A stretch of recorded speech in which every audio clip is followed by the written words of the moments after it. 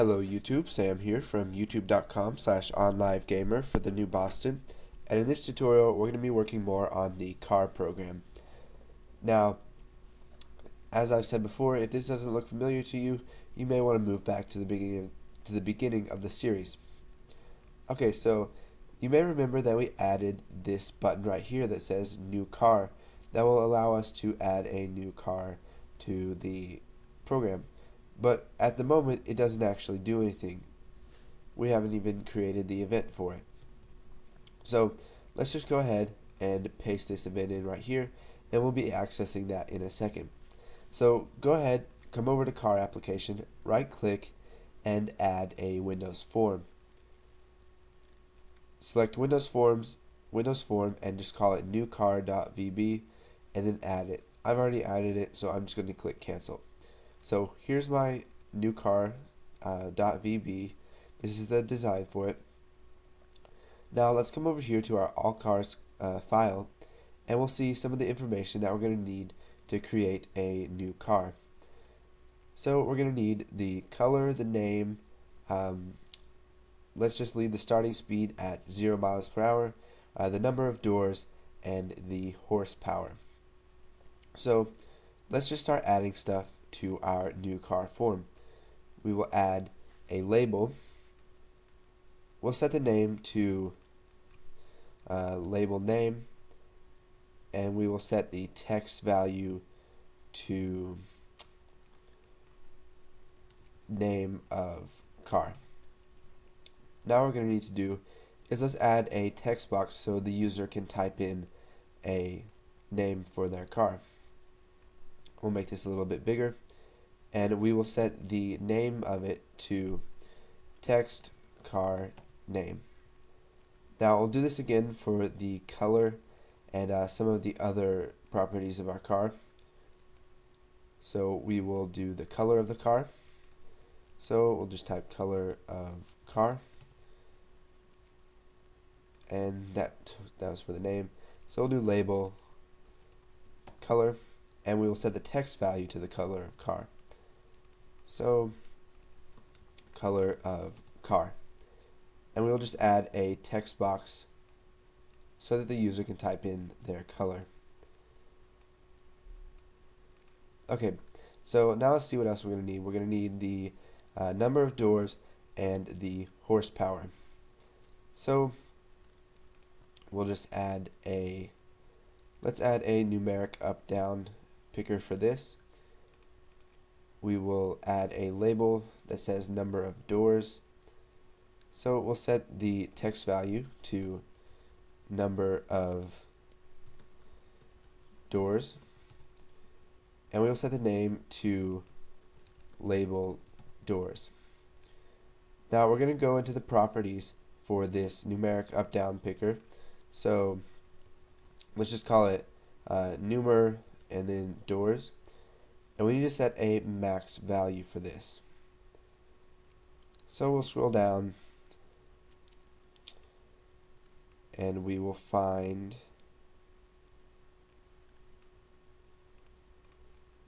the maximum value right here in our properties. We'll set that max value to 5 so that they cannot exceed uh, the number 5.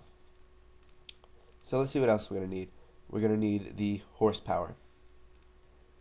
So we will just add a text box right here.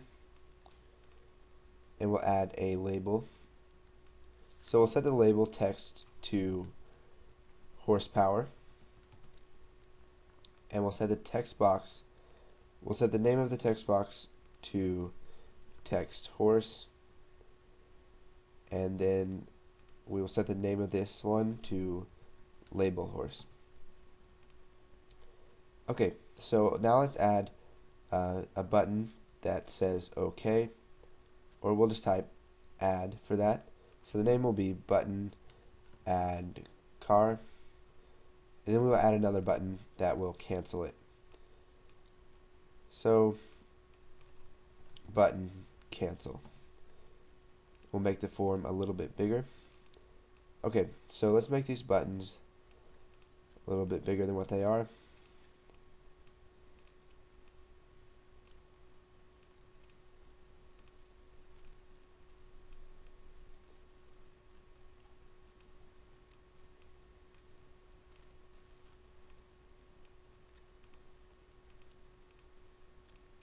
Okay, so we'll set the text of this one's button cancel. We need to switch the places. Okay, so let's set the text of this one to cancel. And we will set the text of this one to add. And we'll just make this a little bit bigger. Okay, so now let's go ahead and head back into form1.vb and here is our uh, create car event uh, click event handler so what we're going to do is we're going to create a new object of new car.vb so we'll declare um, add new car as new uh, new car. So now that we have this form right here we've got an object of it. Let's go ahead and um, show it. So we'll type add new car dot show dialog. Now the reason for using show dialog is to prevent the user from going back to the form 1 whenever the new car dialog is shown. So now that we've shown the dialog, we need to get uh, whatever they put into this. So to do this, we're going to use the with keyword. So we'll start off by typing with and now we're going to, to use uh, we're, we're going to create a new car object so with um, let's just say see if new car uh, let's say let's just call it new car 1 and then we need uh, we first we need to declare new car 1 so dim new car 1 as new uh, all cars dot car. So we're going to use with new car 1 and we hit enter and you can see it as in with. So basically what this does is it's the equivalent of typing new car 1 dot car name equals and then setting our value and then uh, typing new car 1 dot color equals uh, then our value. By using the with keyword it's just going to use new car 1 uh, before the dot each time we call something uh, with our new car one object. So let's just do dot car name. So the car name is going to be the value that is entered in the text box right here, the name of the car.